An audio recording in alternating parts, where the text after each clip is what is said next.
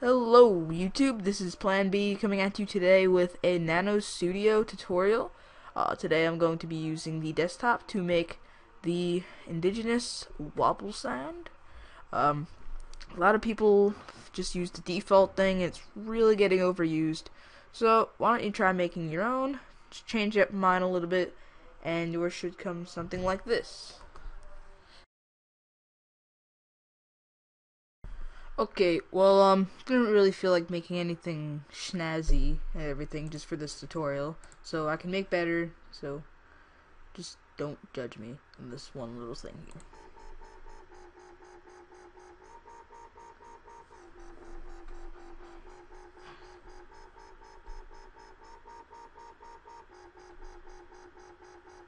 Okay, well, wasn't the best, wasn't the worst either, but, um, that is pretty much the sound you're going to be making. It hope it can sound better than that. It's not the best example ever, but well, anyway, on with the tutorial.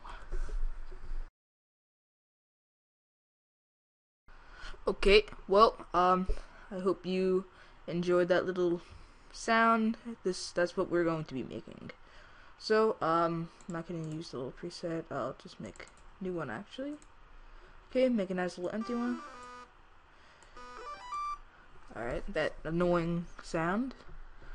So, uh, start off by clicking these down arrows, and if you're using the iOS version, it sounds almost, I mean, not sounds, looks almost the same. So, um, let's see, if you change this to, well, make your own sound as much as you want, but I'm going to change this to harps and I'm going to change this to where is the fox? Ah sorry so I'm going down into lower octaves too. So if we go down to the fourth LFO here and then we change this to a sine wave there you have to go backwards. And just mess around with the amount change our rate to a beat. Like that. And sorry, this looks a little bit different from the iOS version. I just got this to change it on here. Actually, wait. No, sorry. It's been a while since I changed this. So you just want to change the amount down to this. Now, that sounds like a dubstep. Not good dubstep, but change your polyphony all the way down so it can glide. Change the transpose to around 12 each. Uh, I'm gonna go for 13.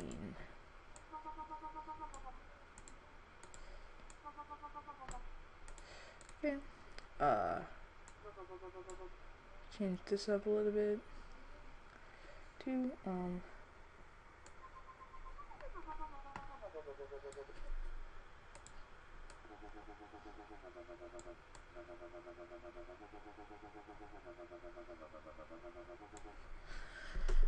okay.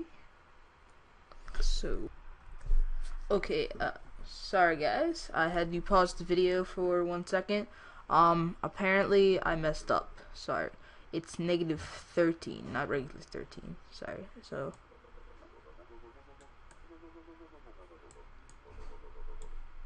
so we can go up to here.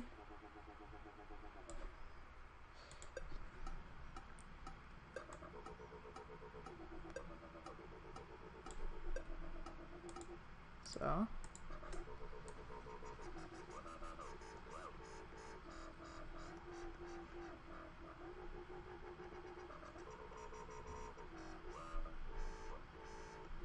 So change this around, changes the rate.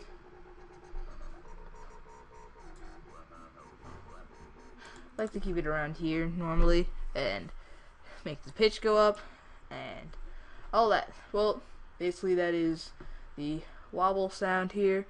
Um, I guess I'll just play some more things that I've made here. Uh, if you like this tutorial, uh, thanks very much, and if you want any other tutorial for NanoStudio, just put it in the comments, please. Thank you for watching, and please subscribe.